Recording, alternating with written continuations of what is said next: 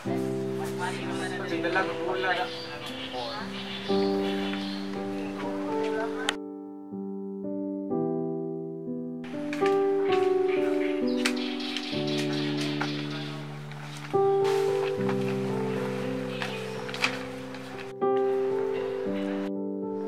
ba, Ange?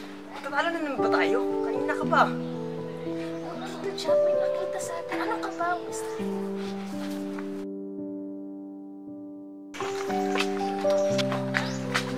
Paano kung ayaw ko?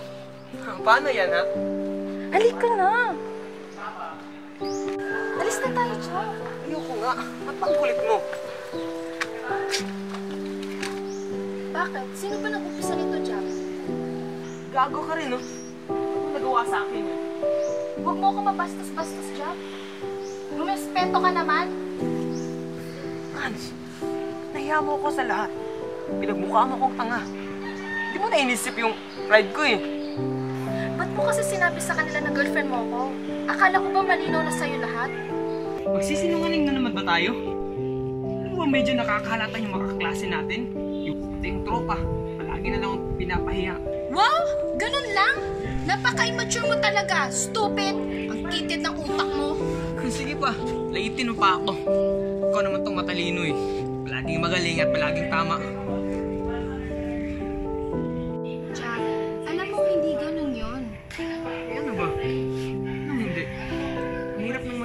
Paningin mo.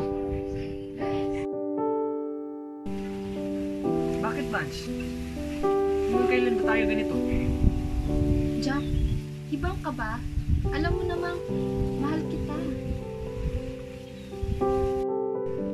Pero isipin muna natin yung mga bagay na mas importante. Gagraduate muna tayo. Magiging programmer ako sa Dubai. Pagkatapos, magtatayo ng IT firm dito sa Pinas.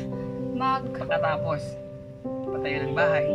Tapos, katapos, ano to? Saan ba sa plano mo, Ange? Hindi ka nag-iisip eh. Palibasa wala kang dapat patunayan sa pamilya mo. Eh ako, kulang na lang singilan nila pati hangin na nilalanghap ko. Malaking gulo to, Jack. Itatakwil nila ako. Hindi mo ba alam yung galing ni Dad? Hindi mo ba naisip yon? Akala ko talaga naintindihan mo ko mula sa umpisa. Alam na alam mo yun. Ange naman, sarili mo lang yung iniisip mo. Naisip ba ako? Nahihirapan din ako. May pangarap. Sa pangarap na yun, kasama ka, Angela.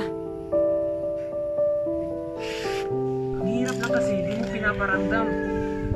Parang ako lang yung nagmamahal. Oo, girlfriend nga kita. Pero pinaparamdam ba, Ange? Lang sa telepono, at saka sa messenger, at sa personal stranger. Ange naman, parang wala kang pakialam. Nariyan ka nga, parang hindi ka naman sa akin. Dito ako. Gusto kang mahalin, pero ito tong walang pakialam. Anong walang pakialam? Lagi nga kita tinatanong kung okay ka lang. Pero ang sagot mo okay lang.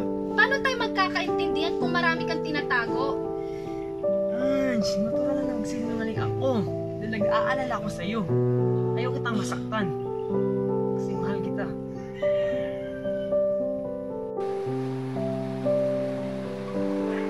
Ayoko na. Mas mabuti pa siguro maghiwalay na lang tayo, Jack. Hindi na tayo masaya. Hindi na rin tayo nagkakaintindihan. Wala nang matutunan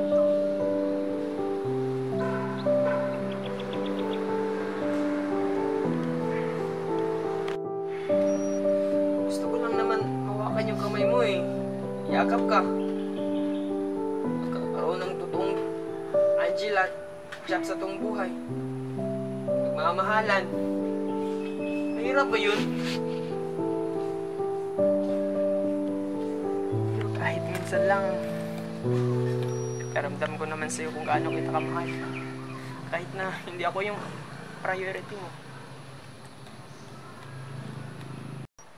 Uy,